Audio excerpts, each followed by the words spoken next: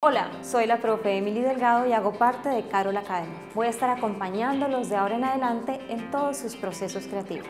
El día de hoy vamos a hablar del alambre bullón, también conocido como French White. Se caracteriza por su forma espiralada y flexible. La base es en cobre. Este material es especialmente usado en la técnica de embroidery o bordado, en donde tú puedes usar aguja e hilo para fijarlo. Pero hoy te quiero contar que también lo puedes utilizar para añadir detalles finos y delicados en la técnica de alambrismo. En este caso puedes utilizar un alambre delgado calibre 28 o calibre 26. Debido a la increíble moldeabilidad del alambre bullón lo puedes cortar en pequeñas piezas de manera que las puedas poner precisa en tu diseño. Es muy importante que cuando hagas esto cuentes con un alicate de precisión o tijeras de muy buen filo para evitar que el borde se deshilache. Puedes acompañar diseños de alambre bullón con perlas, cristales, mostacillas y lentejuelas que en conjunto harán de tu diseño una pieza sumamente exclusiva.